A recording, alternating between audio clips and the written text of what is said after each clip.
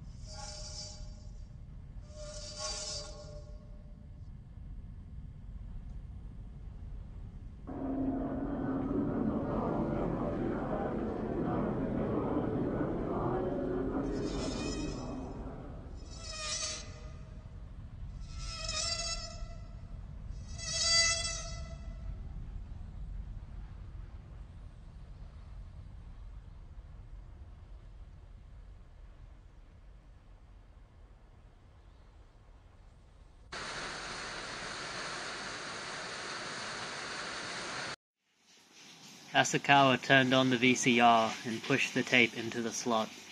He sat down cross-legged right in front of the screen and pressed play. He heard the capstan start to turn. He had high hopes that the key to unlock the riddle of four people's deaths was hidden on this tape.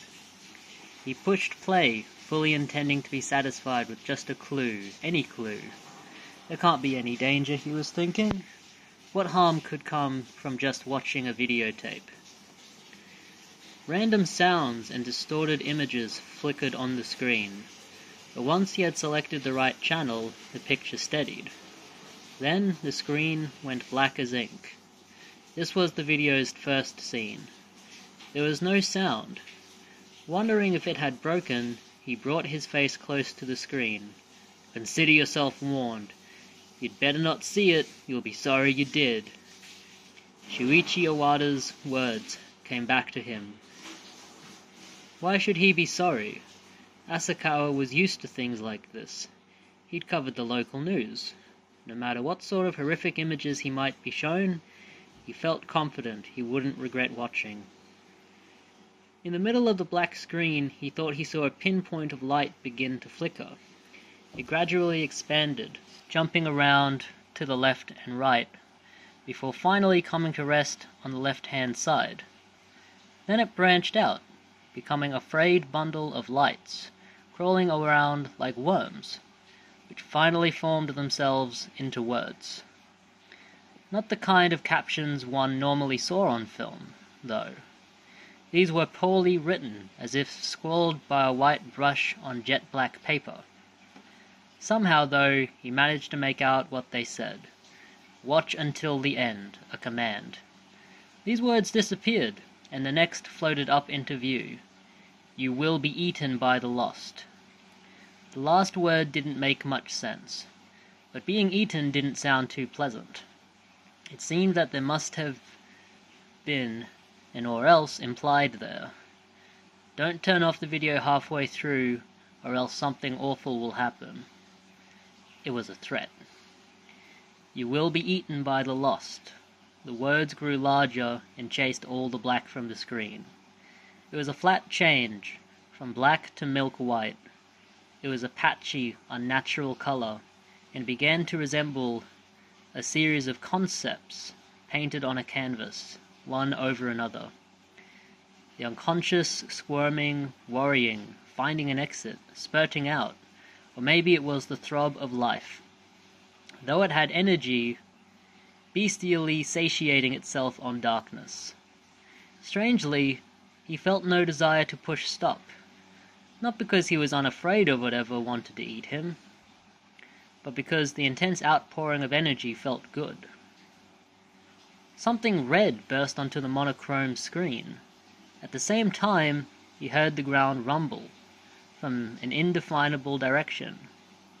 The sound seemed to come from everywhere, such that he began to imagine that the whole cabin was shaking. It didn't feel like the sound was coming from those little speakers. The sluggish red fluid exploded and flew about, sometimes occupying the whole screen.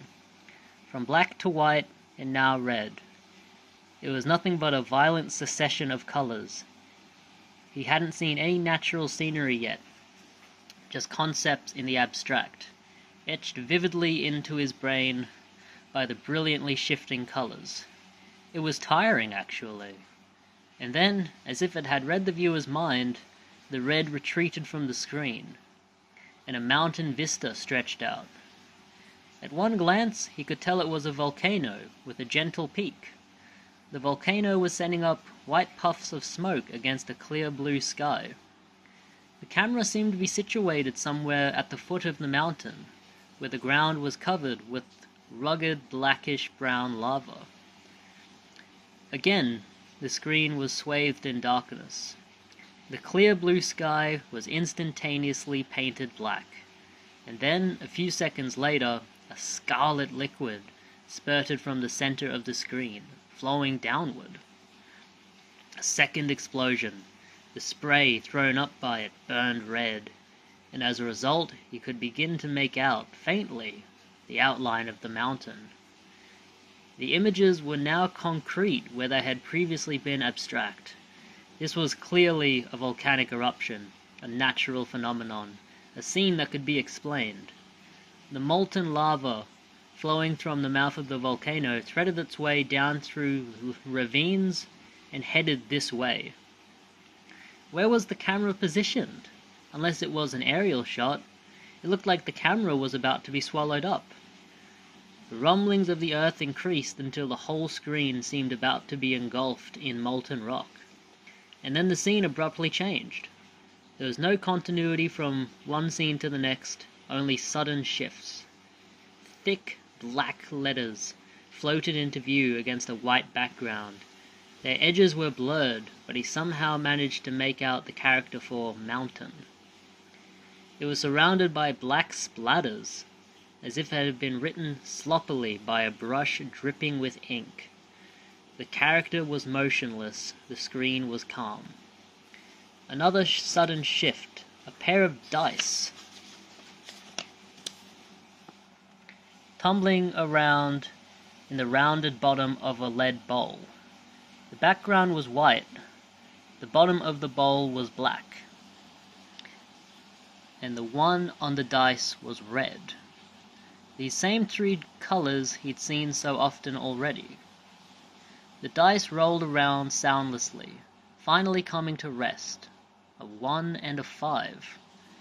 The single red dot and the five black ones arranged on the white faces of the dice. What did it mean? In the next scene, people appeared for the first time.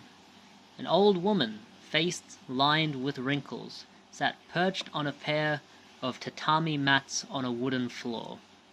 Her hands rested on her knees, and her left shoulder was thrust slightly forward.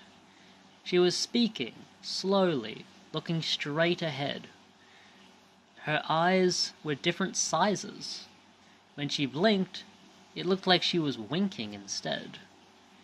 She was speaking in an unfamiliar dialect, and he could only catch every other word or so. Your health. Since. Spend all your time. Bound to get you. Understand? Be careful of. You're going to. You listen to Granny now because there's no need to. The old expressionless woman made her statement, then vanished. There were a lot of words that he didn't understand, but he had the impression he had just been lectured to. She was telling him to be careful of something, warning him. Who was this old lady talking to and about? The face of a newborn baby filled the screen. From somewhere he could hear a baby's first cry. This time, too, he wasn't sure it didn't come from the television speakers. It came from very near, beneath his face. It was very like a real voice.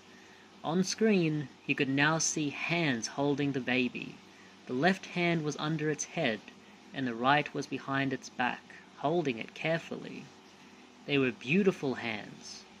Totally absorbed by the image, Asakawa found himself holding his own hands in the same position.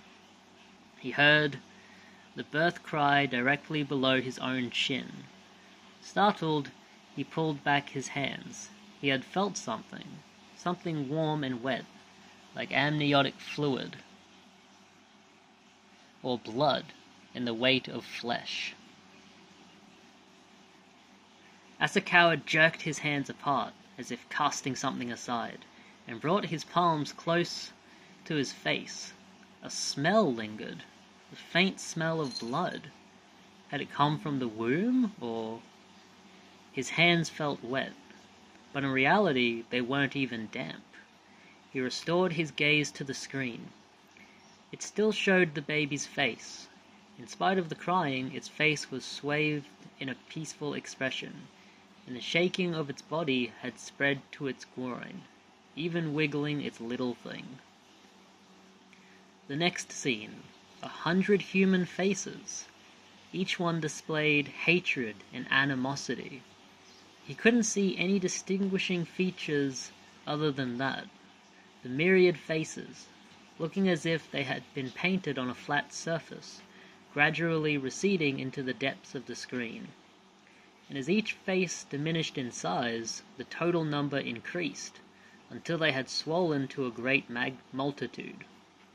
It was a strange multitude, though, existing only from the neck up, but the sounds welling up from them befit a crowd. Their mouths were shouting something. Even as they shrank and multiplied, he couldn't quite make out what they were saying. It sounded like the commotion of a great gathering, but the voices were tinged with criticism, abuse. The voices were clearly not welcoming or cheering. Finally, he made out a word liar, and another fraud. By now, there were perhaps a thousand faces.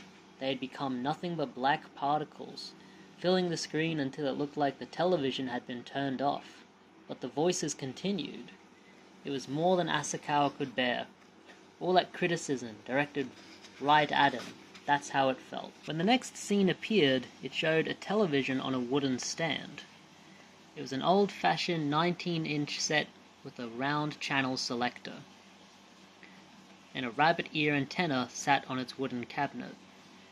Not a play within a play, but a TV within a TV. The television within had nothing on its screen yet, but it seemed to be on. The red light by the channel knob was lit. Then the screen within the screen wavered, stabilized, and then wavered again, over and over with increasing frequency. Then a single character appeared hazily Sada. The word faded in and out of focus, distorted, and began to look like another before disappearing altogether, like chalk on a blackboard wiped with a wet rag. As he watched, Asakawa began to find it hard to breathe. He could hear his heart beat, feel the pressure of the blood flowing in his veins. A smell, a touch, a sour sweet taste stabbing his tongue. Strange. Something was stimulating his five senses, some medium besides the sounds and visions that appeared, as if he were suddenly recalling them. Then the face of a man appeared. Unlike the previous images, this man was definitely alive. He had a pulsating vitality. As he watched, Asakawa began to feel hatred towards him. He had no idea why he should hate this man. He wasn't particularly ugly, his forehead sloped a bit, but other than that, it was actually rather well formed. But there was something dangerous in his eyes. They were the eyes of a beast closing in on its prey. The man's face was sweaty, his breathing was ragged, his gaze was turned upward, and his body was moving rhythmically. Behind the man grew scattered trees. The afternoon sunlight shone between their branches. The man brought his eyes down and looked straight ahead again, and his gaze locked with the viewer's. Asakawa and the man stared at each other for a while. The stifling, stifling sensation grew, and he suddenly wanted to tear his gaze away. The man was drooling, his eyes were bloodshot, his neck muscles began to fill the screen in a close up, then disappeared on off the left side of the screen. For a while only the black shade of the trees could be seen. A scream began to well up from deep down inside. At the same time the man's shoulder came back into view, then his neck, and finally his face again. His shoulders were bare, and the right one carried a deep, bloody gash several centimeters long. Drops of blood seemed to be sucked toward the camera, growing larger and larger until they hit the lens and clouded over the view. The screen cut to black once, twice, almost like blinking. When the light returned, everything was red. There was a murderous look in the man's eyes. His face drew closer, along with his shoulder, the bone peeking out white, where the flesh had been gouged out. Asakawa felt a violent pressure on his chest. He saw trees again. The sky was spinning, the color of the sky fading into sunset, the rustling of dry grass. He saw dirt, then weeds, and then sky again. Somewhere he heard a baby crying. He wasn't sure if it was the little infant from before. Finally, the edge of the screen turned black, darkness gradually encroaching in a ring on the center. Dark and light were clearly defined now. At the center of the screen, a small round moon of light floated in the middle of the darkness. There was a man's face in the moon. A fist-sized clump of something fell from the moon, making a dull thud. Another, and then another. With each sound, the image jumped and swayed. The sound of flesh being smashed, and then true darkness. Even then a pulse remained. Blood still circulated, throbbing. This scene went on and on, a darkness that seemed as if it would never end. Then, just as at the beginning, words faded into view. The writing in the first scene, like that of a child just learning to write, but this was somewhat better. White letters, drifting into view, and then fading, read. Those who have viewed these images are fated to die at the exact hour one week from now. If you do not wish to die, you must follow these instructions exactly. Asakawa gulped and stared wide-eyed at the television, but then the scene changed yet again. A complete and utter change. A commercial came on. A perfectly ordinary, common television commercial. A romantic old neighborhood on a summer's evening, an actress in a light cotton robe sitting on her veranda. Fireworks lighting up the night sky. Commercial for mosquito repelling coils.